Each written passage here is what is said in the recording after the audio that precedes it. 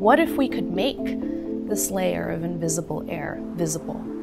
What if the environment could tell us where it was stressed and direct us and tell us where to help? That requires a new set of tools, and that was the vision that ACLIMA was born from. ACLIMA is filling the critical need around the world for hyperlocal climate emissions and air pollution data.